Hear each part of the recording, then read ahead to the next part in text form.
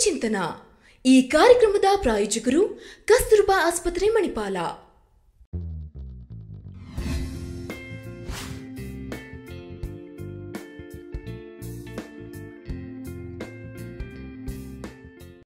ನಮಸ್ಕಾರ ವೀಕ್ಷಕರೇ. ಕಸ್ತೂರ್ಬಾ ಆಸ್ಪತ್ರೆ ಮಣಿಪಾಲ್ ಅರ್ಪಿಸುವ ಆರೋಗ್ಯ ಚಿಂತನಾ ಕಾರ್ಯಕ್ರಮಕ್ಕೆ ತಮಗೆಲ್ಲರಿಗೂ ಕೂಡ ಪ್ರೀತಿಯ ಸ್ವಾಗತ.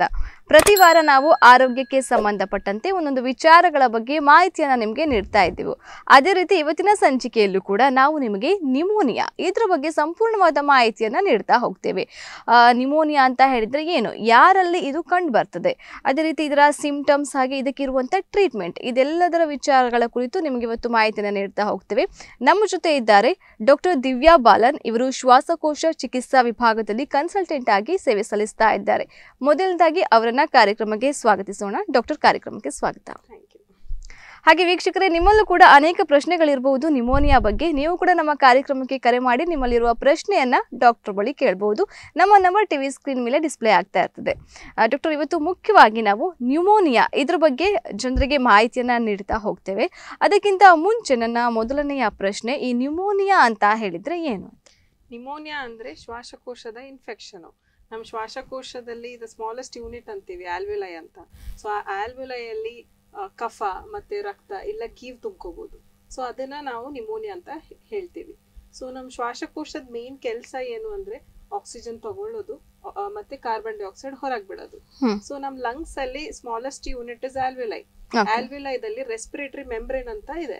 ಸೊ ಅಲ್ಲಿ ನಾವು ಅಲ್ಲಿ ಅಲ್ಲಿನೇ ಈ ಆಕ್ಸಿಜನ್ ತಗೊಳ್ಳೋದು ಕಾರ್ಬನ್ ಡೈಆಕ್ಸೈಡ್ ಹೊರಗೆ ಹೋಗೋದು ಇದು ನಡೆಯೋದು ಅಲ್ಲೇ. ಸೊ ಏನಾಗುತ್ತೆ? ಈ ಇನ್ಫೆಕ್ಷನ್ ಬ್ಯಾಕ್ಟೀರಿಯಾ ಎಲ್ಲ ವೈರಸ್ ಏನಾದ್ರು ಇನ್ಫೆಕ್ಟ್ ಆದ್ರೆ ಏನಾಗುತ್ತೆ? ಈ ರೆಸ್ಪಿರೇಟರಿ ಮೆಮ್ ಬ್ಯಾರಿಯರ್ ಡ್ಯಾಮೇಜ್ ಆಗ್ಬಿಡುತ್ತೆ. ಆಮೇಲೆ ಆಲ್ವಿಲೈದಲ್ಲಿ ಕಫ ಇಲ್ಲ ರಕ್ತ ಇಲ್ಲ ಕ್ಯೂ ಕೀವು ತುಂಬ್ಕೊಬಿಡುತ್ತೆ. ಅವಾಗ ಏನಾಗುತ್ತೆ ಈ ಆಕ್ಸಿಜನ್ ಟ್ರಾನ್ಸ್ಪೋರ್ಟ್ ಅದು ಸ್ಟಾಪ್ ಆಗ್ಬಿಡುತ್ತೆ. ಸೊ ಬೇಸ್ಡ್ ಆನ್ ಎಷ್ಟು ಲಂಗ್ಸ್ ಅಲ್ಲಿ ಎಷ್ಟು ಭಾಗ ಎಫೆಕ್ಟ್ ಆಗಿದೆ ಅದ್ರ ಮೇಲೆ ನಿಮೋನಿಯಾ ಸಿವಿಯಾರಿಟಿನು ಡಿಪೆಂಡ್ ಆಗುತ್ತೆ. ಸೊ ಅದು ನಾ ನಿಮೋನಿಯಾ ಆದಾಗ ಬಾಡಿಗೆ ಆಕ್ಸಿಜನ್ ತಗೊಳ್ಳೋದು ಬಿಡೋದು ಆಗೋದಿಲ್ಲ. ಸೊ ನಮ್ಮ ಜೀವಕೋಶಗಳಿಗೆ oxygen is very important okay pneumonia ಆದಾಗ that is how it affects the body okay ಇದು ದೇಹದ ಮೇಲೆ ಪರಿಣಾಮವನ್ನ ಬೀರ್ತದೆ. ಇನ್ನು ಮುಖ್ಯವಾಗಿ ಡಾಕ್ಟರ್ ಇದಕ್ಕೆ ಕಾರಣ ಏನು ಅಂತ ಈಗ ಒಂದೊಂದು ಒಂದೊಂದು ಕಾಯಿಲೆಗೆ ಒಂದೊಂದು ಕಾರಣ ಇರ್ತದೆ. ಸೊ ಅದೇ ರೀತಿ ನಿಮೋನಿಯಾಗೆ ಕಾರಣ ಏನು ಮತ್ತೆ ಇದು ಅಪಾಯಕಾರಿ ಅಂಶಗಳು ಏನೆಲ್ಲ ಇರ್ತದೆ doctor mainly majorly bacteria virus okay ಮತ್ತೆ ಫಂಗಸ್ ಅಂಡ್ ಆಸ್ಪಿರೇಷನ್ ಅಂತ ಹೇಳ್ತೀವಿ.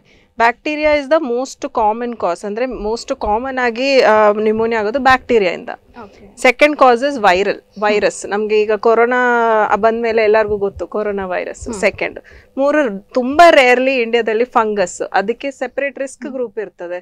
ಡಯಾಬಿಟೀಸ್ ಇರೋ ಪೇಷಂಟ್ ಎಚ್ ಐ ವಿ ಇರೋ ಪೇಷಂಟ್ ಅಂಥ ಪೇಷಂಟ್ಗೆ ಫಂಗಸ್ ಕೂಡ ನಿಮೋನಿಯಾ ಕಾಸ್ ಮಾಡ್ಬೋದು. ಇನ್ನೊಂದಂದರೆ ಆಸ್ಪಿರೇಷನ್ ನಾವು ಊಟ ಮಾಡುವಾಗ ಕೆಲವು ಪೇಷಂಟ್ಸ್ಗೆ ಸ್ಟ್ರೋಕ್ ಆಗಿರೋ ಪೇಷಂಟ್ಗೆ ನುಂಗ ಶಕ್ತಿ ಇರೋದಿಲ್ಲ. ಸೊ ಅಂತ ಅಂತ ಪೇಷಂಟ್ಗೆ ಏನಾಗುತ್ತೆ ಊಟ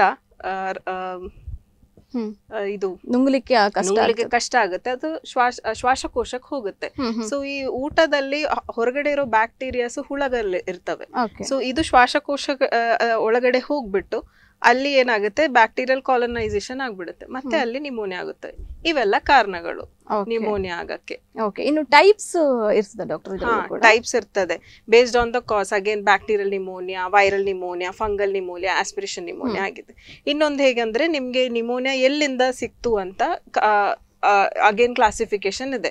So we have like community acquired pneumonia ಮತ್ತೆ health care associate pneumo associated pneumonia ಅಂತ ಹೇಳ್ತೀವಿ. ಕಮ್ಯುನಿಟಿ ಅಕ್ವೈರ್ಡ್ ಅಂದ್ರೆ ಈಗ ವಾತಾವರಣದಿಂದ ಬರೋ ನಿಮೋನಿಯಾ ಇಮ್ಯುನಿಟಿ ವೀಕ್ ಇದ್ದಾಗ ವಾತಾವರಣದಿಂದ ಯಾವುದೋ ವೈರಸ್ ಕ್ಯಾಚ್ ಮಾಡ್ಬಿಡ್ತೀವಿ ಇಲ್ಲ ಬ್ಯಾಕ್ಟೀರಿಯಾ ಕ್ಯಾಚ್ ಮಾಡ್ಬಿಡ್ತೀವಿ. ನಮ್ಮ ವಾ- ವಾತಾವರಣದಲ್ಲಿ ಪೊಲ್ಯೂಷನ್ ಜಾಸ್ತಿ ಇದ್ರೆ.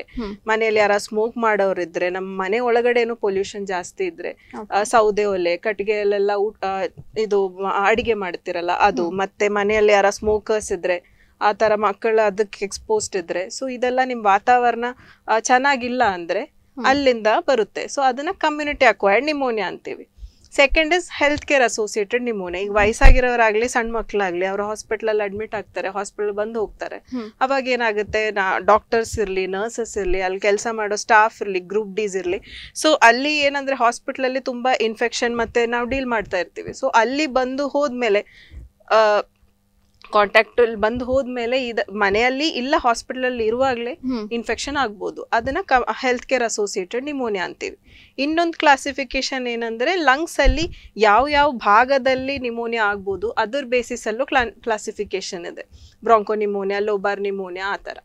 ಸೊ ಇವೆಲ್ಲ types of pneumonia okay doctor ಮತ್ತೆ ಇದು ಸ್ಪ್ರೆಡ್ ಆಗ್ತದ ಅಂತ? ಸ್ಪ್ರೆಡ್ ಆದ್ರೆ ಹೇಗೆ ಸ್ಪ್ರೆಡ್ ಆಗ್ತದೆ ನಿಮೋನಿಯಾ ಅಂತ? ನಿಮೋನಿಯಾ ಸ್ಪ್ರೆಡ್ ಈಗ ಸ್ಪ್ರೆಡ್ಡಿಂಗ್ ಬಗ್ಗೆ ಎಲ್ಲರಿಗೂ ಗೊತ್ತು ಕೋವಿಡ್ ಬಂದ್ಮೇಲೆ.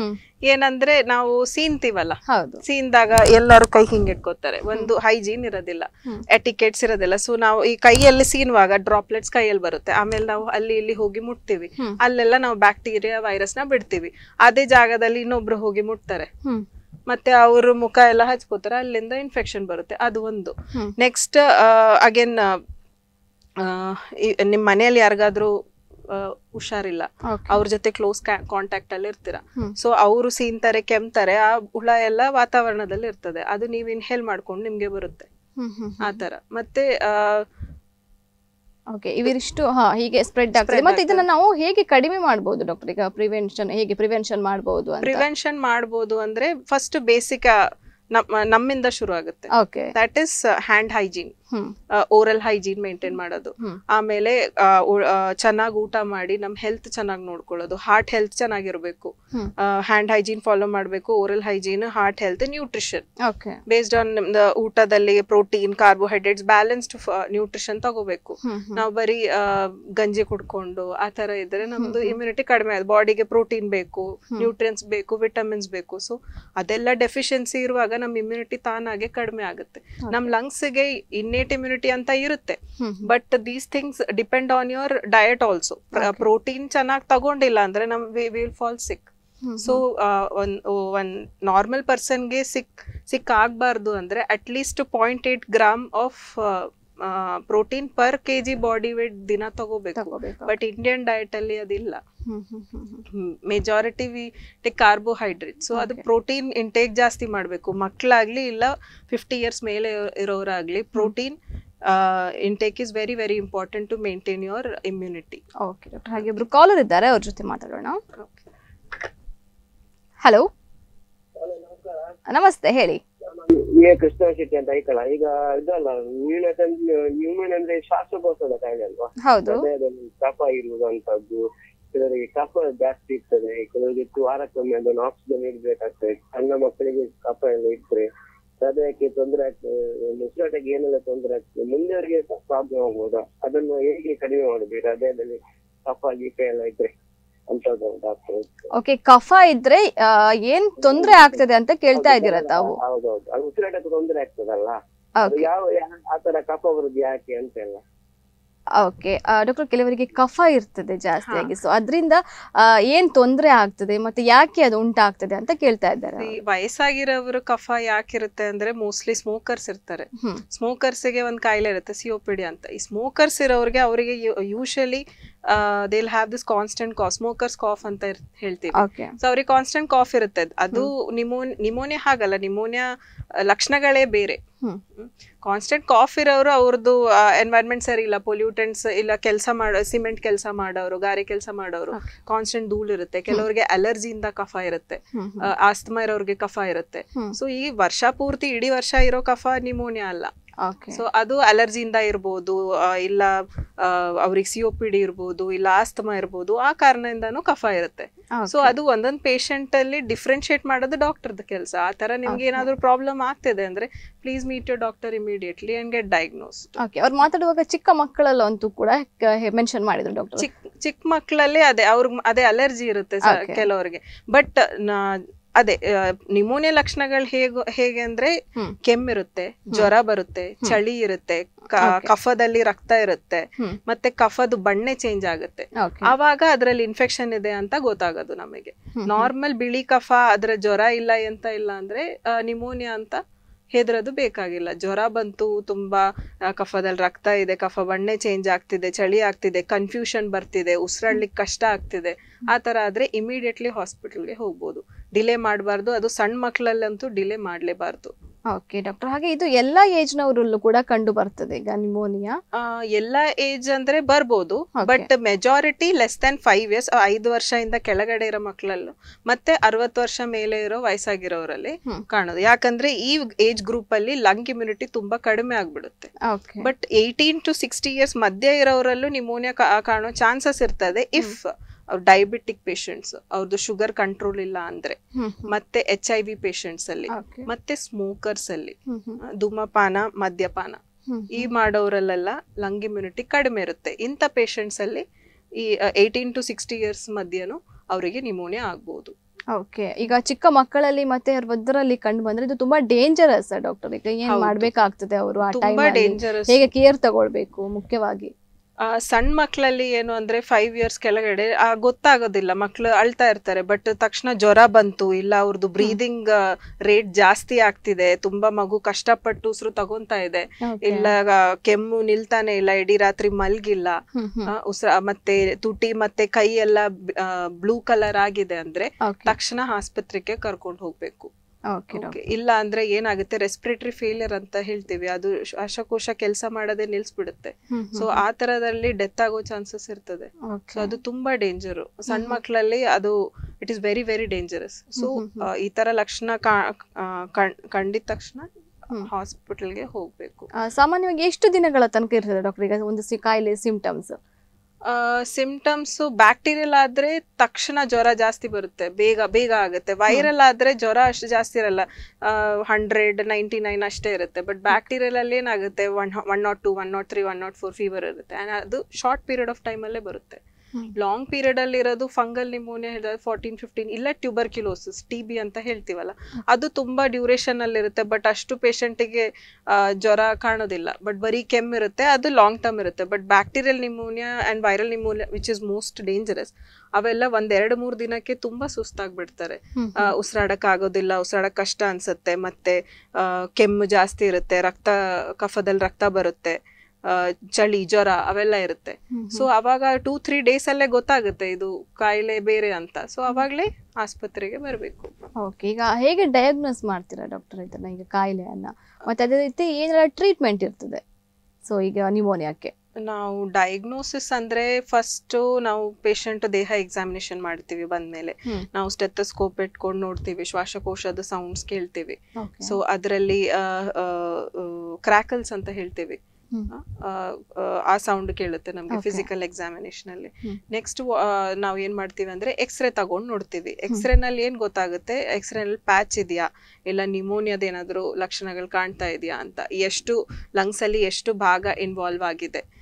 ಪೂರ್ತಿ ಆಗಿದೆಯಾ? ಒಂದ್ ಕಡೆ ಆಗಿದೆ ಎರಡ್ ಕಡೆ ಆಗಿದೆಯಾ? ಅದ್ರಲ್ಲೂ ನಮ್ಗೆ ಕ್ಲೂ ಸಿಗ್ತದೆ. ಇದು ಬ್ಯಾಕ್ಟೀರಿಯಲ್ಲ ವೈರಲ್ಲ ಎರಡು ಕಡೆ ಇದ್ರೆ ವೈರಲ್ ಬ್ಯಾಕ್ಟೀರಿಯಲ್ ಅಂದ್ರೆ ಒಂದ್ ಕಡೆ ಇರುತ್ತೆ. ಟಿ ಬಿದು ಲಕ್ಷಣಗಳು ಕಾಣ್ತದೆ ಎಕ್ಸ್ರೇ ನಲ್ಲಿ ಸೊ ನಿಮೋನಿಯಾ ಇದೆಯೋ ಇಲ್ವೋ ಲಂಗ್ಸ್ ಅಲ್ಲಿ ಎಷ್ಟು ಇನ್ವಾಲ್ವ್ ಆಗಿದೆ ಅದು ಗೊತ್ತಾಗ್ತದೆ ಎಕ್ಸ್ರೇನಲ್ಲಿ ಆಮೇಲೆ ಕಫ ಕಫ ತುಂಬಾ ಇಂಪಾರ್ಟೆಂಟ್ ನಮಗೆ ನಮ್ಗೆ ನಿಮೋನಿಯಾದಲ್ಲಿ ಡಯಾಗ್ನೋಸಿಸ್ ಮಾಡಕ್ಕೆ. ಫಸ್ಟ್ ಬೆಳಗ್ಗೆ ಎದ್ದಿದ ತಕ್ಷಣ ಹಲ್ಲುಜ್ಬಾರ್ದು ಖಾಲಿ ಹೊಟ್ಟೆಯಲ್ಲಿ ಹೊರಗಡೆ ಹೋಗಿ ವಾತಾವರಣದಲ್ಲಿ ಹೋಗಿ ತಣ್ಣು ಗಾಳಿ ತಗೊಂಡು ಅದರಿಂದ ನಮ್ಗೆ ಥ್ರೋಟ್ ಇರಿಟೇಷನ್ ಆಗುತ್ತೆ. ಆಮೇಲೆ ಆ, ಜೋರಾಗಿ ಕೆಮ್ಮಿ ಗಟ್ಟಿ ಕಫ ಪರೀಕ್ಷೆಗೆ ಕೊಡ್ಬೇಕು. ಆ ಕಫದಲ್ಲೇ ನಮ್ಗೆ ಯಾವ ತರ ಬ್ಯಾಕ್ಟೀರಿಯಾನ ಏನಂತ ಅದ್ರಲ್ಲಿ ಬರುತ್ತೆ.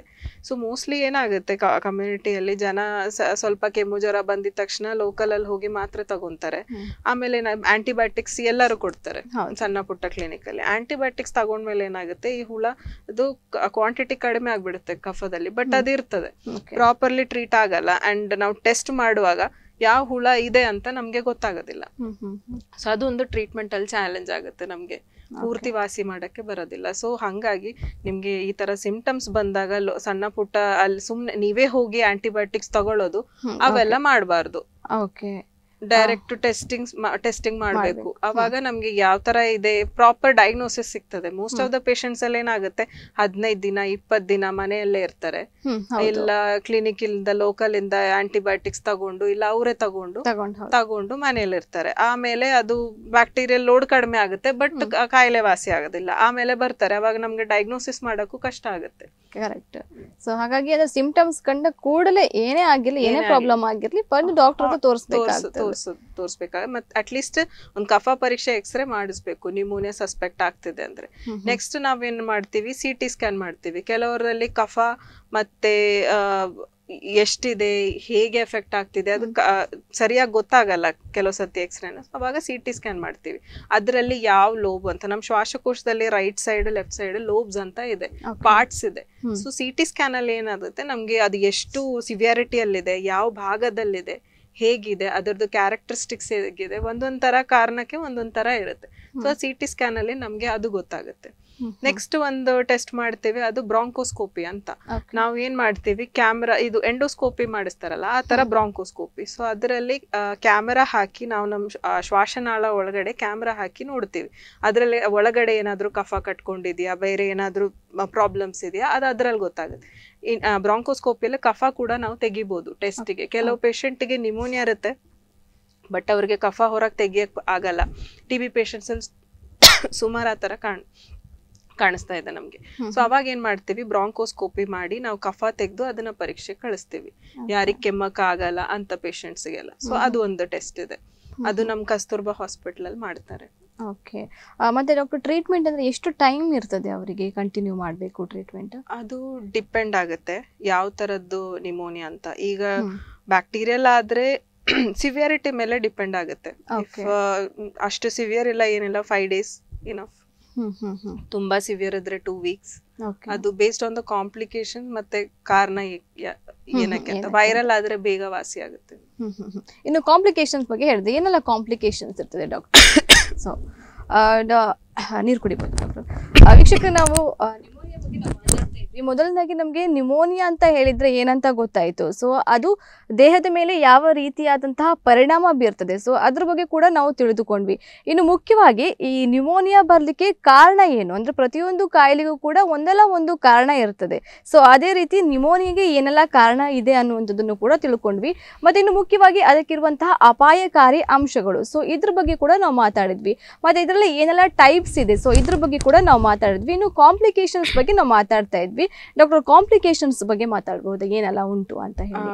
ಕಾಂಪ್ಲಿಕೇಶನ್ಸ್ ಅಂದ್ರೆ ಈಗ T B is also pneumonia. T B ಆದ್ರೆ ಏನಾಗುತ್ತೆ?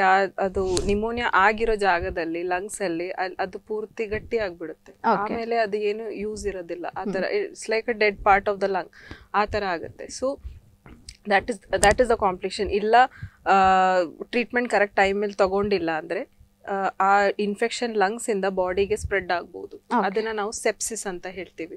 ಅವಾಗ ಏನಾಗುತ್ತೆ ಎಲ್ಲ ಬಾಡಿನಲ್ಲಿ ಎಷ್ಟು ಆರ್ಗನ್ಸ್ ಇದೆಯೋ ಅವಕ್ಕೆಲ್ಲ ಹೋಗಿ ಇನ್ಫೆಕ್ಷನ್ ಹರಡುತ್ತೆ.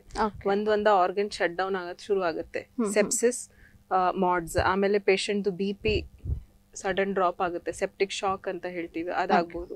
ಇಲ್ಲ ಲಂಗ್ಸ್ ಅಲ್ಲೇ ದೊಡ್ಡದಾಗಿ ಕೀವು ತುಂಬ್ಕೋಬಹುದು ಓಕೆ ಒಂದು ಗಟ್ಟಿಯಾಗಿ. ಸೊ ಆ ತರನೂ ಆಗ್ಬೋದು. ಇಲ್ಲ ಲಂಗ್ಸ್ ಇಂದ ಕಫ ಒಡೆದು ನಾವು ಶ್ವಾಸಕೋಶ ಮತ್ತೆ ಇದು ಚೆಸ್ಟ್ ವಾಲ್ ಮಧ್ಯ ಒಂದ್ ಜಾಗ ಇದೆ ಪ್ಲೂರಲ್ ಸ್ಪೇಸ್ ಅಂತ ಹೇಳ್ತೀವಿ. ಅಲ್ಲಿ ಆ ಕೀವೆಲ್ಲ ತುಂಬ್ಕೋಬಹುದು ಇಲ್ಲ ನೀರ್ ತುಂಬ್ಕೋಬಹುದು ಓಕೆ ಮತ್ತೆ ಲಾಸ್ಟ್ ಇಸ್ ರೆಸ್ಪಿರೇಟರಿ ಫೇಲಿಯರ್ಗೆ ಉಸಿರಾಡಕ್ಕೆ ಆಗೋದಿಲ್ಲ. ಲಂಗ್ಸ್ ಪೂರ್ತಿ ಫೇಲ್ ಆಗಿದೆ. ಅವಾಗ ನಾವು ಪೇಷಂಟ್ನ ವೆಂಟಿಲೇಟರ್ ಹಾಕ್ಬೇಕಾಗ್ತದೆ. ಆ ಪರಿಸ್ಥಿತಿನೂ ಬರ್ಬೋದು. ಮಕ್ಕಳಾಗ್ಲಿ ಇಲ್ಲ ದೊಡ್ಡವರಾಗ್ಲಿ. ಸೊ ಇದು ಇದೆ ಈ- ತರದೆಲ್ಲ ಕಾಂಪ್ಲಿಕೇಶನ್ಸ್ ಇದಾವೆ. In the end most bad complication death ಆಗ್ಬೋದು. Two days three days spread ಆಗ್ಬಿಟ್ರೆ. ಡೆತ್ ಆಗ್ಬೋದು. ಓಕೆ ಇದನ್ನ ಪ್ರಿವೆಂಟ್ ಮಾಡ್ಲಿಕ್ಕೆ ಸಾಧ್ಯ ಉಂಟಾ ಡಾಕ್ಟರ್ ಹೌದು. Pneumonia. ಬರದೇ ಇದ್ದ ಹಾಗೆ ನಾವು ಹೇಗೆ ತಡೆಗಟ್ಟಬಹುದು pneumonia complication stop if you want to prevent pneumonia vaccination. Vaccination is the best prevention so first thing is vaccination ನಾವು ಫೈವ್ ಇಯರ್ಸ್ ಕಡಿಮೆ ಇರೋ ಮಕ್ಕಳಿಗೆ ಮತ್ತೆ ಸಿಕ್ಸ್ಟಿ ಇಯರ್ಸ್ ಮೇಲೆ ಇರೋರಿಗೆ ಕೊಡ್ತೀವಿ. ಎರಡು ತರದ ವ್ಯಾಕ್ಸಿನೇಷನ್ ಇದೆ. ಒಂದು ಬ್ಯಾಕ್ಟೀರಿಯಲ್ ಇನ್ಫೆಕ್ಷನ್ಗೆ ನ್ಯೂಮೋಕೋಕಲ್ ವ್ಯಾಕ್ಸಿನ್ ಅಂತ ಹೇಳ್ತೀವಿ. ಮತ್ತೆ ಇದು ಸೀಸನಲ್ ವೈರಲ್ ಇನ್ಫೆಕ್ಷನ್ಗೆ ಇನ್ಫ್ಲುಯೆನ್ಸಾ ವೈರಸ್ ಅಂತ ಇನ್ಫ್ಲುಯೆನ್ಸಾ ವ್ಯಾಕ್ಸಿನ್ ಅಂತ ಹೇಳ್ತೀವಿ. ಇವೆರಡು ಕೊಡ್ಬೋದು ಪೇಷಂಟ್ಸ್ಗೆ ಇವನ್ ಫೈವ್ ಇಯರ್ಸ್ ಯಂಗರ್ಗೆ ಮತ್ತೆ ಸಿಕ್ಸ್ಟಿ ಇಯರ್ಸ್ ಮೇಲೆ ಇರೋ ಮತ್ತೆ. ಏಯ್ಟೀನ್ ಟು ಸಿಕ್ಸ್ಟಿ ಇಯರ್ಸ್ ಮಧ್ಯ ಇರೋ ಜನ ಯಾವಂದ್ರೆ ಡಯಾಬಿಟಿಕ್ ಪೇಷಂಟ್ಸ್ ಕ್ಯಾನ್ಸರ್ ಟ್ರೀಟ್ಮೆಂಟ್ ತಗೊಳ್ಳೋ patients H I V patients kidney patients liver disease ಇರೋರು ಸ್ಮೋಕರ್ಸ್. ಆಲ್ಕೋಹಾಲಿಕ್ಸ್. ಇವ್ರಿಗೆಲ್ಲ ವ್ಯಾಕ್ಸಿನ್ ಕೊಡ್ಬೋದು ನಾವು. ಅದರಿಂದ ಪ್ರಿವೆಂಟ್ ಆಗುತ್ತೆ. ಆಮೇಲೆ best thing that you can do ಮನೆಯಲ್ಲಿ ಹೇಳಿರೋ ತರ ಹ್ಯಾಂಡ್ ಹೈಜೀನ್ ಕಾಫ್ ಎಟಿಕ್ವೇಟ್ ಕೆಮ್ದಾಗ ಜನ ಹಿಂಗ್ ಕೆಮ್ತಾರೆ. ಹಂಗ್ ಕೆಮ್ಬಾರ್ದು. ಹೀಗೆ ಕೆಮ್ಬೇಕು. ಓಕೆ ಸೊ ಇದು ಏನಾಗುತ್ತೆ? ಕೈಯಲ್ಲಿ ಕಫ ಬಂದು ಎಲ್ಲಾ ಕಡೆ ನಾವು ಮುಟ್ತೀವಿ. ಬಟ್ ಇದು ಜಾಸ್ತಿ ಕಾಂಟ್ಯಾಕ್ಟ್ ಅಲ್ಲಿ ಬರಲ್ಲ ನಮ್ಮ ಎಲ್ಬು ಸೊ ಅದನ್ನ ಕಾಫ್ ಎಟಿಕೇಟ್ ಅಂತೀವಿ. ಅದೆಲ್ಲ ಕಲ್ಸ್ಕೊಡ್ಬೇಕು. ಮತ್ತೆ ಮನೆಯಲ್ಲಿ ಯಾರಿಗಾದ್ರೂ ಆತರ ಇನ್ಫೆಕ್ಷನ್ ಇದ್ರೆ ಅವ್ರಿಗೆ ಕೇರ್ ತಗೊಳ್ಳುವಾಗ ನಾವು ಮಾಸ್ಕ್ ಹಾಕೋಬೇಕು ಓಕೆ ಸೊ ಅವರಿಂದ ಸ್ವಲ್ಪ ಡಿಸ್ಟೆನ್ಸ್ ಮೇಂಟೈನ್ ಮಾಡಬೇಕು ಅವ್ರಿಗೆ ಸೆಪರೇಟ್ ತಟ್ಟೆ ಕೊಡಬೇಕು ಆ ರೀತಿ ಟಿ ಬಿ ಇರೋ ಪೇಷಂಟ್ಸ್ ಇದ್ರೆ ಅವ್ರನ್ನ ಸೆಪರೇಟ್ ರೂಮಲ್ಲೇ ಇಟ್ಕೋಬೇಕು ಟೂ ಮಂತ್ಸ್ ಟ್ರೀಟ್ಮೆಂಟ್ ಆಗೋ ತನಕ. T ಬಿದು treatment six months okay. So two months ತನಕ ಅಟ್ ಲೀಸ್ಟ್ ಅವರಿಗೆ ಸೆಪರೇಟ್ ರೂಮ್ ಸೆಪರೇಟ್ ತಟ್ಟೆ. ಅವ್ರಿಗೆ ಯಾವಾಗ್ಲೂ ಮಾಸ್ಕ್ ಹಾಕೊಂಡಿರ್ಬೇಕು. ಮನೆಯಲ್ಲಿ ಯಾರಿಗಾದ್ರೂ ವೈರಲ್ ನಿಮೋನಿಯಾ ನೆಗಡಿ ಶೀತ ವೈರಲ್ ಇನ್ಫೆಕ್ಷನ್ ಇಲ್ಲ ಜ್ವರ ಏನಾದರೂ ಇದ್ರೆ ಅವ್ರು ಮಾಸ್ಕ್ ಹಾಕೋಬೇಕು. ಸಣ್ಣ ಮಕ್ಳಿದ್ರೆ ಅವರಿಂದ ಸ್ವಲ್ಪ ದೂರ ಇಟ್ಕೋಬೇಕು ಇಲ್ಲ ಅವ್ರಿಗೂ ಮಾಸ್ಕ್ ಹಾಕೋಬೇಕು. ಅವಾಗ ನೀವು ಇದು ಮನೆಯಲ್ಲೇ ಇರೋ ಸ್ಪ್ರೆಡ್ನ ಕಡಿಮೆ ಮತ್ತೆ ಸ್ಮೋಕಿಂಗ್ ನಿಲ್ಲಿಸ್ಬೇಕು ಇಫ್ ಈವನ್ ಇಫ್ ಮನೇಲಿ ಸ್ಮೋಕರ್ಸ್ ಇದಾರಂದ್ರೂ ಅವ್ರು ಹೊರಗಡೆ ಹೋಗಿ ಸ್ಮೋಕ್ ಮಾಡ್ಬೇಕು. ಸ್ಮೋಕಿಂಗ್ ಮಾಡೋರ್ಕಿಂತ ಇದು ಹೊಗೆ ಕುಡಿತಾರಲ್ಲ ಪಕ್ಕ ಕೂತ್ that is more dangerous passive smoking is more dangerous than smoking so ಮನೆ ಒಳಗಡೆ ಇನ್ ಇಂಟರ್ನಲ್ ಪೊಲ್ಯೂಷನ್ ನಾವು ಕಡಿಮೆ ಮಾಡಬೇಕು. So as them to go outside and smoke. ಅವ್ರ ಜೊತೆ ಸ್ಮೋಕಿಂಗ್ ಮಾಡೋ ನಿಮ್ಮ ಫ್ರೆಂಡ್ಸ್ ಸರ್ಕಲ್ ಗ್ರೂಪ್ ಅಲ್ಲಿ ಯಾರ ಸ್ಮೋಕಿಂಗ್ ಮಾಡ್ತಾರಂದ್ರೆ ಸ್ಮೋಕ್ ಮಾಡುವಾಗ ಅವ್ರ ಜೊತೆ ಇರಬೇಡಿ. ಮತ್ತೆ ಸೌದೆ ಒಲೆ ಆ ತರ ಕಟ್ಟಿಗೆಯಲ್ಲಿ ಏನಾದ್ರು ಅಡಿಗೆ ಮಾಡ್ತಾ ಇದ್ದೀರಂದ್ರೆ ಮನೆಯಿಂದ ಆಚೆ ಮಾಡಿ. ಮತ್ತೆ ಕೆಲವು ಮನೆಯಲ್ಲಿರುತ್ತೆ ಸೌದೆ ಒಲೆ ಇರುತ್ತದೆ. ಅಡಿಗೆ ಮನೆಯಲ್ಲಿ ಏಳೆಂಟು ಜನ ಹೋಗಿ ಕ್ರೌಡಿಂಗ್ ಮಾಡೋದು. ಆ ತರ ಮಾಡಿದ್ರೇನು ಇಟ್ ಇಸ್ ಬ್ಯಾಡ್ ಸೊ ಅದನ್ನು ಅವಾಯ್ಡ್ ಮಾಡಬಹುದು ಡಾಕ್ಟರ್ ಇನ್ನು ಇದು ಕಂಪ್ಲೀಟ್ ಆಗಿ ಗುಣ ಆಗ್ಲಿಕ್ಕೆ ಸೊ ಎಷ್ಟು ಟೈಮ್ ತಗೊಳ್ತದೆ ಅಂತ. ಅದು ವೇರಿ ಆಗುತ್ತೆ. ಬ್ಯಾಕ್ಟೀರಿಯಲ್ ನಿಮೋನಿಯಾ ವೈರಲ್ ನಿಮೋನಿಯಾ ಅಂತ ಪೇಷಂಟ್ ಜನರಲ್ ಕಂಡೀಷನ್ ಮೇಲೆ ಡಿಪೆಂಡ್ ಆಗುತ್ತೆ. ಅವರು ವಯಸ್ಸಾಗಿರೋರ ಸಣ್ಣ ಮಕ್ಕಳ ಎಲ್ಲ ಸ್ವಲ್ಪ ವರ್ಕಿಂಗ್ ಏಜ್ ಅಲ್ಲಿ ಇರೋರ ಮಿಡಲ್ ಏಜ್ ಅವರು ಅಂತ. ಸೊ ಎಲ್ಡರ್ಲಿ ಪೇಷಂಟ್ಸ್ ಅಂದ್ರೆ ಅವ್ರಿಗೆ ಸುಮಾರು ಟೈಮ್ ತಗೊಳ್ತದೆ ರಿಕವರ್ ಆಗಕ್ಕೆ.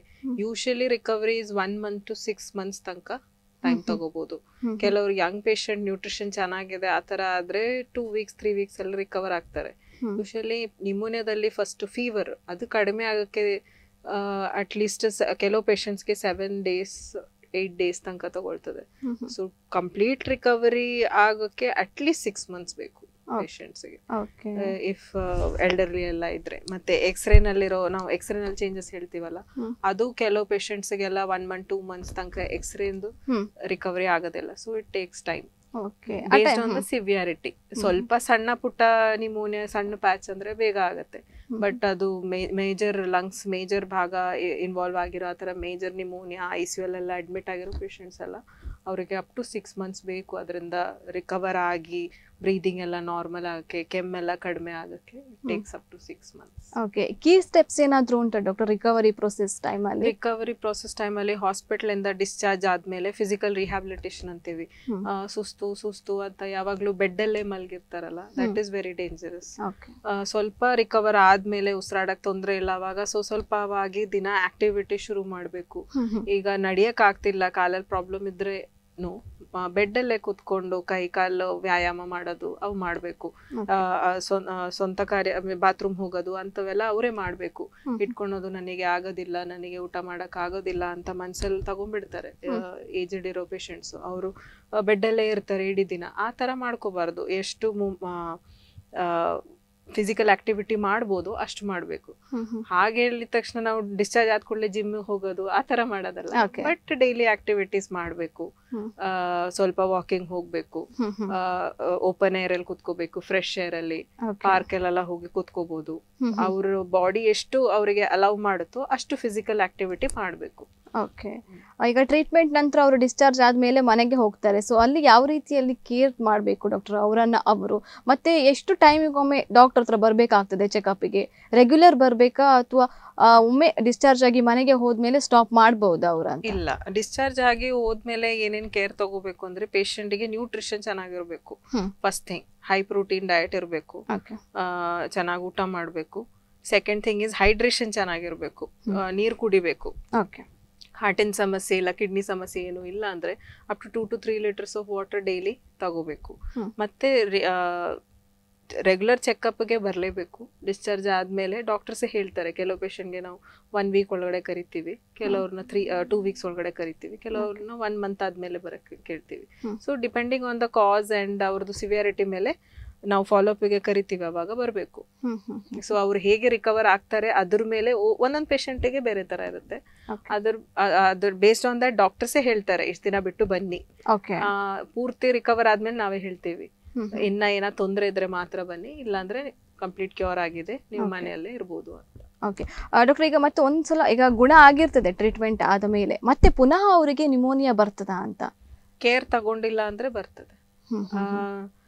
ನಿಮೋನಿಯಾ ಅಂದ್ರೆ ಅದೇ ಇನ್ಫೆಕ್ಷನ್ ಅಲ್ವಾ ಅಗೇನ್ ಇಮ್ಯುನಿಟಿ ಚೆನ್ನಾಗಿಲ್ಲ patients again they go back smoking smoking ಮಾಡ್ತಾರೆ ಮತ್ತೆ. ಅಗೇನ್ ಡ್ರಿಂಕ್ಸ್ ಮಾಡ್ತಾರೆ. ಆ ತರ ಮಾಡಿ ಅವ್ರ ಇಮ್ಯುನಿಟಿ ಹಾಳು ಮಾಡ್ಕೊಂಡ್ರೆ ಊಟ ಮಾಡೋದಿಲ್ಲ ಟೈಮಿಗೆ. ಸ್ಮೋಕಿಂಗ್ ಮೇನ್ಲಿ ಸ್ಮೋಕರ್ಸ್ಗೆ. ಇಫ್ ಯು ಕಂಟಿನ್ಯೂ ಕಂಟಿನ್ಯೂ ಮಾಡಿದ್ರೆ ಸ್ಮೋಕಿಂಗ್ ಮನೆಗೆ ಹೋದ್ಮೇಲೆ ನಾವು ಹೇಳ್ತೀವಿ ಸ್ಮೋಕಿಂಗ್ ಬಿಡಬೇಕು ಅಂದ್ಬಿಟ್ಟು ಅವ್ರಿಗೆ ಅವರಿಗೆ ಆಗೋದಿಲ್ಲ. ಆ ಥರ ಮಾಡಿಕೊಂಡು ಶ್ವಾಸಕೋಶ ಹಾಳು ಮಾಡ್ಕೊಂಡ್ರೆ ಹೈಜೀನ್ ಮೇಂಟೈನ್ ಮಾಡಿಲ್ಲ ಮತ್ತೆ ಓಲ್ಡ್ ಪ್ರಾಕ್ಟೀಸಸ್ ಕಂಟಿನ್ಯೂ ಮಾಡಿದರೆ ಪುನಃ ಆಗ್ಬೋದು. ಓಕೆ ಅಂಡ್ ಒಂದು ಎಪಿಸೋಡ್ ಆಫ್ ನಿಮೋನಿಯಾ ಆದ್ಮೇಲೆ recovery up to six months it takes for the lungs to recover so ಅದ್ರ ಮಧ್ಯೆ ಮತ್ತೆ ನೀವು ಹೋಗಿ ಅದೇ ತರ ಸ್ಮೋಕಿಂಗ್ ಎಲ್ಲ ಮಾಡಿದ್ರೆ ಮತ್ತೆ ಬರುತ್ತೆ.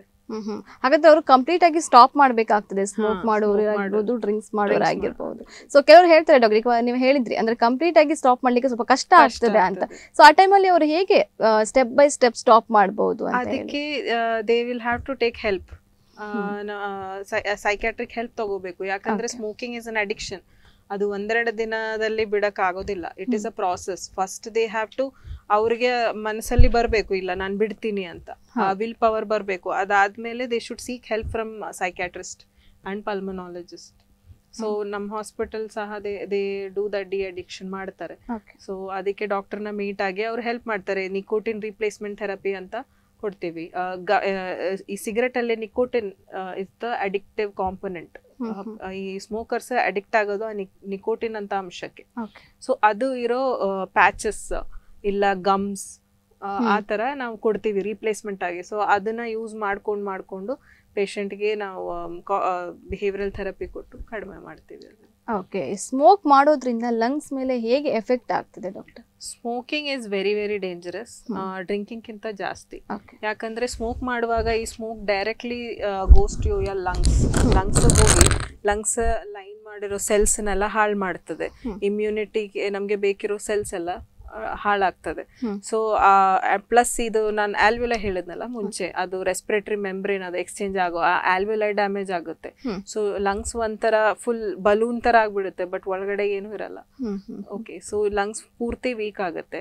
ಆ ತರ ಲಂಗ್ಸ್ ಅಲ್ಲಿ ಏನಾಗುತ್ತೆ ಇಮ್ಯುನಿಟಿ ಇರೋದಿಲ್ಲ. ಸೊ ನಾರ್ಮಲ್ ಉಸಿರಾಟದಲ್ಲೂ ಕಮ್ಯುನಿಟಿಗೆ ಹೋಗಿನೂ ಯಾರೋ ಸಿಕ್ ಪೇಷಂಟ್ ದೂರ ಇದ್ರೇನು ಬೇಗ ಹರಡುತ್ತೆ. Okay so smoking is very very dangerous first of all lungs weak ಮಾಡ್ತದೆ ಲಂಗ್ಸ್ ಇಮ್ಯುನಿಟಿ ಕಡಿಮೆ ಆಗುತ್ತೆ. So all those multiple issue plus cancer risk okay cancer ಬರುವಂತ ಚಾನ್ಸಸ್ ಕೂಡ ಚಾನ್ಸಸ್ ಇರ್ತದೆ. ಓಕೆ ಡಾಕ್ಟರ್ ಈಗ ಪೇಷಂಟ್ ಈಗ ಹಾಸ್ಪಿಟ್ಲಿಗೆ ಬರ್ತಾರೆ. ಸೊ ಹಾಸ್ಪಿಟಲ್ನಲ್ಲಿ ನೀವು ಏನೆಲ್ಲ ಮಾಡ್ತೀರಾ ಅಂತ ಪೇಷಂಟ್ಸ್ಗೆ ಪೇಷಂಟ್ ಹಾಸ್ಪಿಟ್ಲಲ್ಲಿ ನಿಮೋನಿಯಾದು ಸಿಂಪ್ಟಮ್ಸ್ ತಗೊ ಇಟ್ಕೊಂಡು ಬಂದ್ರೆ ನಾವು ಫಸ್ಟ್ ಫಿಸಿಕಲ್ ಎಕ್ಸಾಮಿನೇಷನ್ ಮಾಡ್ತೀವಿ. ಆಮೇಲೆ ಎಕ್ಸ್ರೇ ಎಕ್ಸ್ರೇ ಕೇಳ್ತೀವಿ. ಕಫ ಪರೀಕ್ಷೆ ಮಾಡಿಸ್ತೀವಿ. ರಕ್ತ ಪರೀಕ್ಷೆ ಮಾಡಿಸ್ತೀವಿ. ರಕ್ತದಲ್ಲಿ ನಾವು ಟೋಟಲ್ ಕೌಂಟ್ಸ್ ಅಂತ ಹೇಳ್ತೀವಿ. ಸೊ ಅದರಲ್ಲಿ ಲ್ಯೂಕೋಸೈಟೋಸಿಸ್ ಅಂತ ಇರುತ್ತೆ. ಅದು ಒಂದು ಬಿಳಿ ರಕ್ತ. ಆ ಕಣ ಆ, ಸೆಲ್ಸ್ ಏನಂದ್ರೆ ನಮ್ಮ ಬಾಡಿಯಲ್ಲಿ ಇಮ್ಯುನಿಟಿ ಪವರ್ ಮೀನ್ಸ್ ಅದು ಜಾಸ್ತಿ ಆದ್ರೆ ಅಂದ್ರೆ ಬಾಡಿಯಲ್ಲಿ ಇನ್ಫೆಕ್ಷನ್ ಇದೆ. ಅದು ಫೈಟ್ ಮಾಡ್ಲಿಕ್ಕೆ ಆ ಸೆಲ್ಸ್ ಜಾಸ್ತಿ ಆಗುತ್ತೆ. ಸೊ ಅದು ಜಾಸ್ತಿ ಇದ್ರೆ ಇಟ್ ಮೀನ್ಸ್ ಬಾಡಿಯಲ್ಲಿ ಇನ್ಫೆಕ್ಷನ್ ಇದೆ ಅಂತ. ಸೊ ಆಲ್ ಈ ಥರ ಟೆಸ್ಟ್ಗಳು ಮಾಡ್ತೀವಿ. ಪೇಷಂಟ್ನ ಅಡ್ಮಿಟ್ ಮಾಡಿ ಕೆಲವ್ರಿಗೆ ನಾವು ಆಮೇಲೆ ಆರ್ಟಿರಿಯಲ್ ಗ್ಯಾಸ್ ಅನಾಲಿಸಿಸ್ ಅಂತ ಹೇಳ್ತೀವಿ. ಅದರಲ್ಲಿ ಬ್ಲಡ್ ಅಲ್ಲಿ ಎಷ್ಟು ಆಕ್ಸಿಜನ್ ಇದೆ ಎಷ್ಟು ಕಾರ್ಬನ್ ಡೈಆಕ್ಸೈಡ್ ಇದೆ ಆಸಿಡ್ ಲೆವೆಲ್ ಜಾಸ್ತಿ ಇದೆಯಾ? ಅವೆಲ್ಲ ಚೆಕ್ ಮಾಡ್ತೀವಿ. ಅದಾದಮೇಲೆ ಪೇಷಂಟ್ಗೆ ಆಕ್ಸಿಜನ್ ರಿಕ್ವೈರ್ಮೆಂಟ್ ಇದೆ ಅಂತ ನೋಡ್ತೀವಿ. ಪಲ್ಸ್ ಆಕ್ಸಿಮೆಟ್ರಿ ಕೋವಿಡ್ ಬಂದ್ಮೇಲೆ ಎಲ್ಲರ ಮನೆಯಲ್ಲೂ ಪಲ್ಸ್ ಆಕ್ಸಿಮೀಟರ್ ಇದೆ. ಪಲ್ಸ್ ಮತ್ತೆ ಆಕ್ಸಿಜನ್ ಲೆವೆಲ್ ನೋಡಕ್ಕೆ. ಆಕ್ಸಿಜನ್ ಲೆವೆಲ್ ನಾರ್ಮಲ್ ಆಗಿ ನೈಂಟಿ ಫೈವ್ ಕಿಂತ ಜಾಸ್ತಿ ಇರಬೇಕು. ಈಗ ಪೇಷಂಟ್ಗೆ ನೈಂಟಿಯಿಂದ ಕಡಿಮೆ ನೈಂಟಿ ಇಂದ ಕಡಿಮೆ ಆದರೆ ಪೇಷಂಟ್ಗೆ ಆಕ್ಸಿಜನ್ ಬೇಕು ಅಂತ. ಸೊ ನಾವು ಆಕ್ಸಿಜನ್ ಕೊಡ್ತೀವಿ. ಆಮೇಲೆ ಬ್ಯಾಕ್ಟೀರಿಯಲ್ಲ ವೈರಲ್ಲ ಅಂತ ಗೊತ್ತಾದ್ಮೇಲೆ ಆ್ಯಂಟಿಬಯೋಟಿಕ್ಸ್ ಬೇಕಾ ಆಂಟಿವೈರಲ್ ಬೇಕಾ ಸೊ ಅಕಾರ್ಡಿಂಗ್ಲಿ ಟ್ರೀಟ್ಮೆಂಟ್ ಕೊಡ್ತೀವಿ. ಆಮೇಲೆ ಸಪೋರ್ಟಿವ್ ಆಗಿ ಕಾಫ್ ಸಿರಪ್ಸ್ ಚೆಸ್ಟ್ ಫಿಸಿಯೋಥೆರಪಿ. ಅವೆಲ್ಲ ಕೊಡ್ತೀವಿ. ಇನ್ ಕೇಸ್ ಪೇಷಂಟ್ ಜಾಸ್ತಿ ಸೀರಿಯಸ್ ಆದ್ರು ಅವರಿಗೆ ಉಸಿರಾಡ್ಲಿಕ್ಕೆ ಆಗ್ತಾ ಇಲ್ಲ ಲಂಗ್ಸ್ ಫೇಲ್ ಆಗ್ತಿದೆ ಅಂತ ಪೇಷಂಟ್ನ ನಾವು ಐ ಸಿ ಶಿಫ್ಟ್ ಮಾಡಿ ಊರಲ್ಲಿ ಏನೂ ಕೊಡೋಕ್ಕಾಗಲ್ಲ. ಸೊ ಎವ್ರಿಥಿಂಗ್ ಇಂಜೆಕ್ಷನ್ ಇಂಜೆಕ್ಷನ್ನಲ್ಲೇ ಹೋಗುತ್ತೆ. ಆಮೇಲೆ ಲಂಗ್ಸ್ ಪೂರ್ತಿ ಫೇಲ್ ಆದರೆ ಆ ಪೇಷಂಟಿಗೆ ಬಾಯಿಂದ ಟ್ಯೂಬ್ ಹಾಕಿ ನಾವು ವೆಂಟಿಲೇಟರ್ಗೆ ಕನೆಕ್ಟ್ ಮಾಡ್ತೀವಿ. ಸೊ ಆ ಪೇಷಂಟ್ ಉಸಿರಾಟ ಮಷೀನ್ ಮಾಡುತ್ತೆ. ಲಂಗ್ಸ್ ರಿಕವರ್ ಆಗೋ ತನಕ. ಬಟ್ ಆ ಸ್ಟೇಜಿಗೆ ಹೋದರೆ ತುಂಬ ಡೇಂಜರು ಏಜೆಡ್ ಆಗಿರೋರು ಮತ್ತೆ ಆಲ್ರೆಡಿ ಶ್ವಾಸಕೋಶ ಡ್ಯಾಮೇಜ್ ಆಗಿರೋರು ಸ್ಮೋಕಿಂಗ್ ಇಂದ ಡ್ಯಾಮೇಜ್ ಆಗಿರೋ ಲಂಗ್ಸ್ ಎಲ್ಲ ಆ ಥರ ಪೇಷಂಟ್ಸ್ ವೆಂಟಿಲೇಟರ್ ಇಲ್ಲ ಐ ಇಂದ ಆಚೆ ಬರೋದು ಚಾನ್ಸಸ್ ಕಡಿಮೆ ಆಗುತ್ತೆ ಅವ್ರದ್ದು. ರಿಕವರಿ ಡಿಲೇ ಆಗುತ್ತೆ. ಓಕೆ ಅದೇ ರೀತಿ doctor health care associate pneumonia so ಇದರ ಬಗ್ಗೆ ಒಂದು ಸ್ವಲ್ಪ ಡೀಟೇಲ್ ಆಗಿ ನಮಗೆ ಹೇಳೋದಾದ್ರೆ. ಹೆಲ್ತ್ ಕೇರ್ ಅಸೋಸಿಯೇಟೆಡ್ ನಿಮೋನಿಯಾ ಆದರೆ ಈಗ ನೀವು ಹಾಸ್ಪಿಟಲ್ಗೆ ಬರ್ತೀರಾ ಈಗ ಒಂದು ಫ್ರ್ಯಾಕ್ಚರ್ ಆಗಿದೆ ಇಲ್ಲ ಕಾಲಿಗೆ ಏನಾದರೂ ಆಗಿದೆ. ಹಾಸ್ಪಿಟಲಲ್ಲಿ ಬಂದ ಅಡ್ಮಿಟ್ ಆಗ್ತೀರಾ. So hospital ಎನ್ವೈರ್ಮೆಂಟಲ್ಲೇ there be lot of germs ಯಾಕಂದ್ರೆ ಅಲ್ಲಿ ತುಂಬಾ ಹುಷಾರಿಲ್ಲದೆ ಇರೋರು ಬರ್ತಾರೆ. ರೆಸ್ಪಿರೇಟರಿ ಇನ್ಫೆಕ್ಷನ್ ಇರೋರು ಮಲ್ಟಿಪಲ್ ಪೀಪಲ್ ಕಮ್ ಸೊ ಅವಾಗ ಏನಾಗುತ್ತೆ ನಾವು ಹಾಸ್ಪಿಟ್ಲಲ್ಲಿ ಹಾಸ್ಪಿಟಲ್ ಸ್ಟೇ ಒಂದು ಫೋರ್ ಫೈವ್ ಡೇಸ್ ಆದಮೇಲೆ ಜಾಸ್ತಿ ದಿನ ಕೆಲವರು ಇರ್ತಾರೆ. Twelve days fifteen days unnecessarily so. ಅದೇ ಅವಾಯ್ಡ್ ಮಾಡಬೇಕು. ಆ ಥರ ಏನಾಗುತ್ತೆ ನಾರ್ಮಲ್ ಆಗಿ ಇರೋರಿಗೂ ಇನ್ಫೆಕ್ಷನ್ ಬರುತ್ತೆ. So when your doctor says you are fit for discharge. I think you fit for discharge over staying especially government hospitals ಅಲ್ಲಿ ಅದಾಗುತ್ತೆ. ಸೊ ಅವಾಗ ನಿಮ್ಗೆ ಅನ್ನೆಸೆಸರಿ ಇನ್ಫೆಕ್ಷನ್ ಕ್ಯಾಚ್ ಮಾಡೋ ಚಾನ್ಸಸ್ ಜಾಸ್ತಿ ಇರ್ತದೆ. ಮತ್ತೆ ಇನ್ನೊಂದು ವೆಂಟಿಲೇಟರ್ ಅಸೋಸಿಯೇಟೆಡ್ ನಿಮೋನಿಯಾ ಅಂತ ಹೇಳ್ತೀವಿ. ಅದು ಪೇಷಂಟ್ನ ನಾವು ವೆಂಟಿಲೇಟರ್ ಅಲ್ಲಿ ಹಾಕ್ತಿವಲ್ಲ ಸೊ ಈ E T tube endotracheal tube ಇರುತ್ತೆ. So all these things are not ಏನಾಗುತ್ತೆ ಅದ್ರ ಅದರಲ್ಲಿ ಹುಳ ಬಂದು ಸೇರ್ಕೊಳ್ತದೆ. ಸೊ ಜಾಸ್ತಿ ದಿನ ವೆಂಟಿಲೇಟರ್ ಅಲ್ಲಿ ಇದ್ದಾಗ ಮತ್ತೆ ನಿಮೋನಿಯಾ ಆಗೋ ಚಾನ್ಸಸ್ ಇರ್ತದೆ.